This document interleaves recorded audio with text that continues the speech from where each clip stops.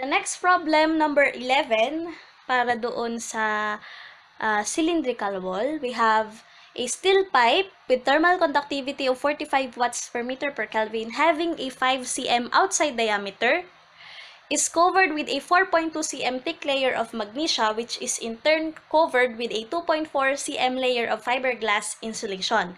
Okay, so ito yung ating figure. We have here a steel pipe. So yung D1, yun yung outside diameter ng steel pipe which is equivalent to 5 cm. Then, kinovera ng magnesia na may thickness yung magnesia, sabihin natin X sub M, which is 4.2 cm.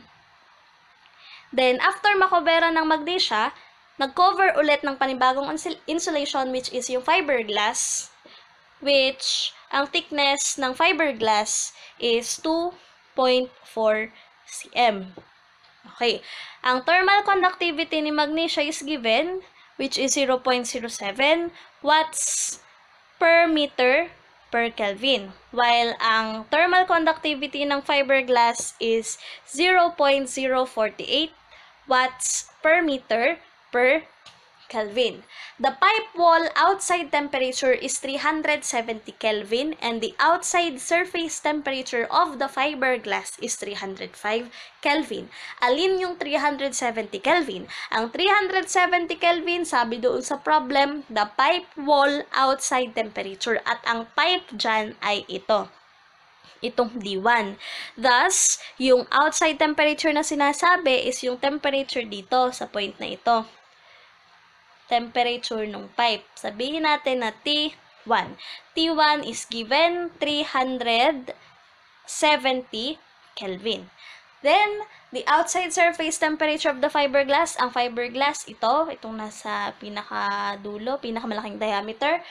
At ang temperature niya, sabihin natin na T2 is 305 Kelvin. Okay, what is the interfacial temperature between the magnesia and the fiberglass? Alin ba yung sinasabing interfacial? Kagaya doon sa inaral natin sa conduction through a slab or plain wall or composite wall, yung interfacial temperature is yung temperature in between ng mga layers or ito, yung nasa interface. Okay? At ito, sabihin na lang natin na ito ay T sub A. Okay? So, ang hinahanap lagay ko dito si T2, 305 Kelvin. Ang hinahanap is T sub A, the interfacial temperature. Paano natin isosolve yung interfacial temperature? So, kagaya nung naunang problem, ito ay example ng composite cylindrical wall or composite pipe.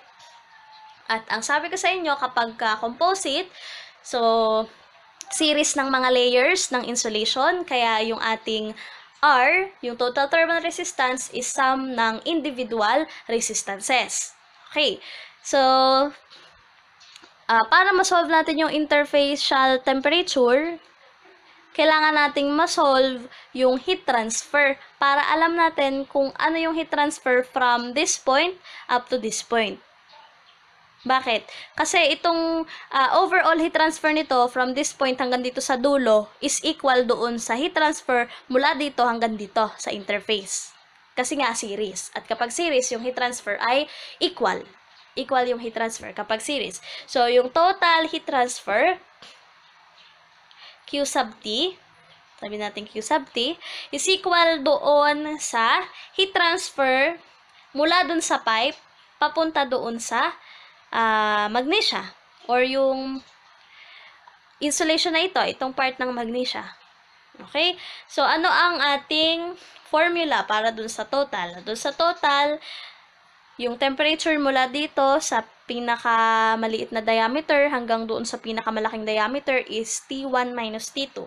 So, T1 minus T2 divided by yung resistance doon. At ang resistance na, na nasakop mula sa point na ito up to doon sa outermost is dalawa. Itong sa magnesia at itong sa fiberglass. So, meron tayo dyang ln ng d2 over d1 divide 2 pi k ng magnesia para doon sa una times the length plus ln ng d3 over d2 divided by 2 pi k nung fiberglass times the length.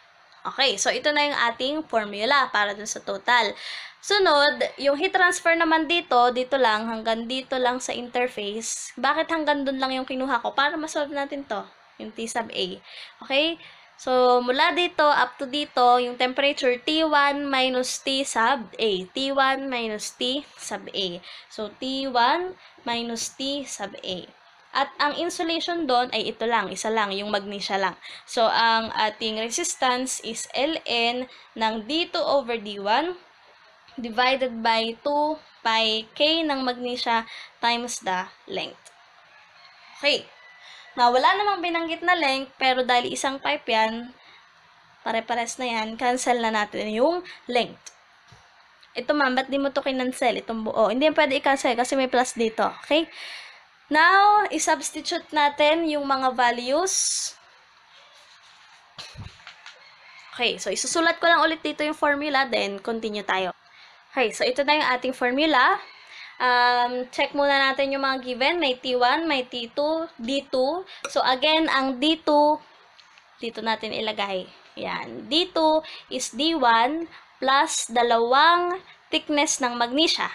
Paano ko nalaman yon Dito, sa ating figure. So, ito ang D1. To. Then, ang D2 is yung pangalawa na circle. So, si D2 ay D1 plus dalawang thickness ng magnesia. D1 plus dalawang thickness ng magnesia. Tapos, yung D3 naman, ito, yung pinakamalaking circle is D2. Yan. Plus dalawang thickness ng fiberglass. Okay. So, D3 is equal to D2 plus dalawang thickness ng fiberglass. Isosolve ko na yan ng diretso. Alam ko namang gets nyo na yan. So, D2 is D1. Ano ba ang D1? 5 cm at ang thickness ng magnesia 4.2. So, 5 plus dalawang 4.2 is 13.4. So, we have 13.4 cm.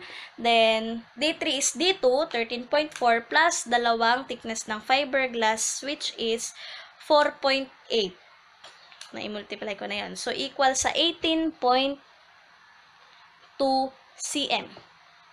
Okay, so ito na yung mga given. Now, let us substitute.